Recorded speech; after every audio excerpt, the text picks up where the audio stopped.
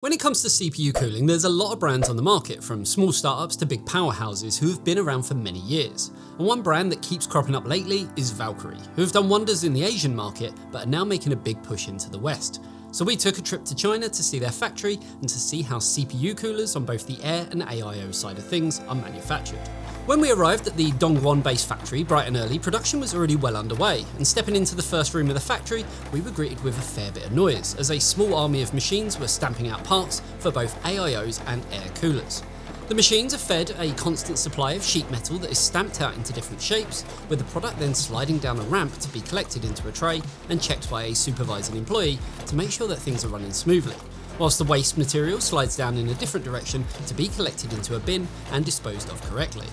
With so many product types and so many different standards to adhere to, all of these giant machines still aren't enough to create all the parts that are needed, which is why the moulds or tooling are actually interchangeable and is a relatively simple task that two employees are able to achieve.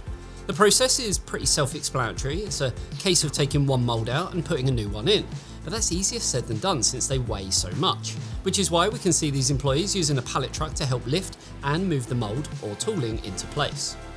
Just around the corner from here, we can actually see the sheer quantity of operations they're able to achieve this way by looking at the mountains of tooling that they have on standby. Now something worth noting is that plenty of these aren't even used for Valkyrie's consumer products, as much like many other factories, they don't just make consumer products, but also make a range of industrial products too, but we'll touch on that a little bit later on. When we take a look at all of the trays full of parts and all the rolls of material, we can see they're clearly taking full advantage of all of this to make as much as they can in-house as possible.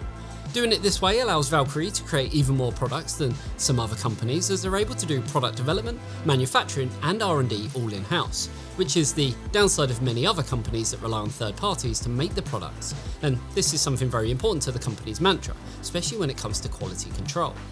All of this equipment isn't just for cutting though, they're also being used for assembling some of the parts, as we can see here where a worker is placing mounting brackets down with screws that are then stamped by the machine to complete the assembly. We'll also see later on how they can be used during the full assembly process.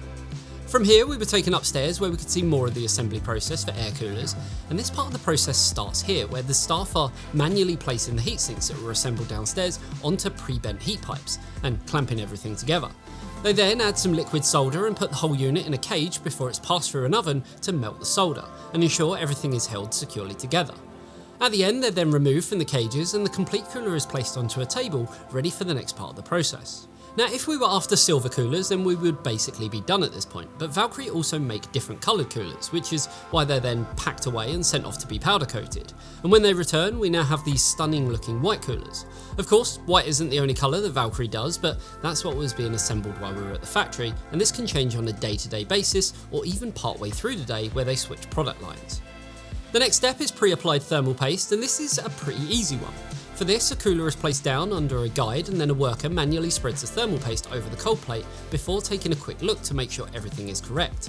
And then a plastic cover is added before it's moved along the assembly line to the next worker who screws the aesthetic covers onto the coolers.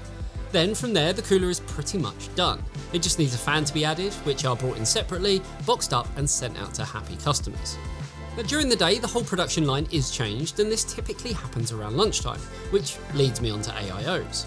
The process for AIOs is a bit different, and the first thing that needs doing is the assembly of the pump. For this, the workers wind the coils, and to do that, parts that were made downstairs are placed into a machine that quickly winds the coils, doing four at once to speed up the process even further. These coils are then taken to be soldered before they're added into the assembly line, where all the pieces come together and these are again checked along the way at every single stage. Because though the factory is reliant on machinery, there's still a very big human element to everything with checks being done frequently to make sure parts are being manufactured to the standards that Valkyrie set out for themselves. There's a whole team of people working together to place and screw different parts together, including PCBs, LEDs, cables, and housing to create the final product, all up until it reaches a point where the cold plate is ready to be screwed on. And that part is done automatically by a machine that's programmed to screw everything in perfectly, finishing this part of the process and meaning that the pump heads are now ready to be attached to the radiator.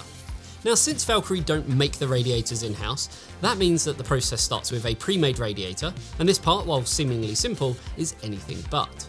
Firstly, the radiators need connectors and this process is pretty simple. It's just a tube being fed into a machine that cuts the right size and drops them into a bin, to then be connected to a tube that's then attached to the radiator, before it gets stored with all of the other radiators that are ready to be taken along to the pumps that we made earlier. Once they've been attached, the radiators need filling with coolant. For this, the cap is removed and is then passed along to a filling machine where a member of staff places the radiator correctly and presses a button that then automatically starts the filling process. The machine is programmed to pump the exact amount of coolant needed into the radiator before it's taken by the worker to have the cap reattached. From here, the process is getting close to being finished. Next comes more checks, because it's not just good enough to be making the products, you also need to make sure they function as advertised. And some of these tests include the use of large ovens that test the longevity of the products. They aren't just for AIOs either, they use these for all sorts of components, including fans. What these ovens are essentially doing is baking the products for a few hours at a time at temperatures higher than what a user would be able to reach to ensure that they hold up to the most extreme scenarios that they may be unrealistically thrown at. Because if it can survive the unreasonable, then we know it'll be perfect for day-to-day -day application that they're actually meant for.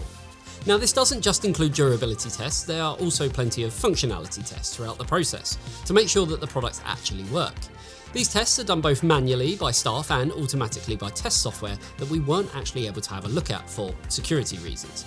But as you can see, there are a whole load of AIOs plugged into PWM boards that are testing the pumps automatically in the background. So whether it's manual or automatic, there's always something going on at any one time.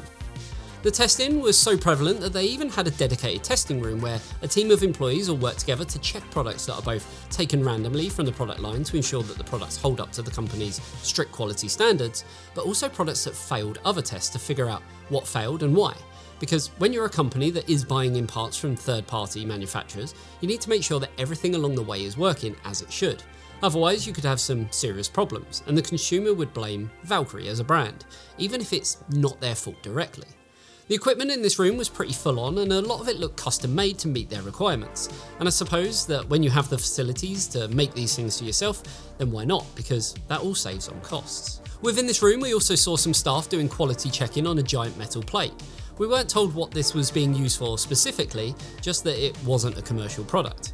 As since Valkyrie have the resources for it, they also use their factory and cooling expertise to create products that are used in a more industrial setting, including the likes of heat sinks for industrial lighting, since the lights create so much heat that they, well, need to be cooled. We even saw some of this being made earlier where we could see a member of staff using a machine to press heatsink fins onto heat pipes. With everything ready to go, it's time to get everything packed up, starting with the mounting hardware. And for that, an employee manually places the correct parts into little trays that are conveniently labelled to ensure there's no confusion for the end user. These trays are then passed along and put into the appropriate boxes. Much like everything else, the staff are working like one well-oiled machine to efficiently get everything packed into the product boxes before it all heads down to a packing area, where the products are placed in boxes ready to be shipped out to retailers and customers. On our way back through the factory to head to their offices and streaming room, we got a chance to see the warehouse where they keep all of the finished products. And as you can see for yourself, it was pretty staggering. The absolute monstrous amount of products that this factory is able to create is, well, frankly impressive. And with Valkyrie being so popular, particularly in Asia, it's no surprise that they need to be creating this much. And this was just, well, the tip of the iceberg, as we were told that they have other warehouses and storage facilities close by. As I just teased, Valkyrie do indeed have a streaming room and this is where we had our first chance to look at the final products and their impressive packaging, including a host of keyboards which we also saw at Valkyrie's booth at Computex. So if you want to check out that video, then the link is in the description below. Now much like when we were at Computex, the Valkyrie staff were incredibly keen to hear what we had to say about the products and what we think would work better in the Western markets, as they're currently making a big push to reach the West with their products. And like we said at Computex, I can really see a certain demographic loving these products, particularly anime fans. So if you like what you see and would buy any of these, well, let us know in the comments section down below. And even though I'm not really a anime fan myself, I did love the different colour schemes and the boxes, at least compared to the competition. Because, well, they really do stand out as being fun and cool, while still keeping that premium aesthetic, and that adds to the overall experience. We had a chance to look at the unboxing experience of the products, as this is something that Valkyrie really pride themselves on, and they were keen to get our feedback. While speaking to the staff, they were mentioning that the goal for packaging is threefold. Part one is obviously to keep the product safe, that goes without saying. The second part also goes without saying, they want the unboxing experience to be memorable, because they know that getting a new toy like this is always exciting. So making the unboxing experience exciting as well will make it feel that extra bit special. Finally, they told us that they wanted to create something the user would be proud to own, and I can certainly see that in the way that the boxes look.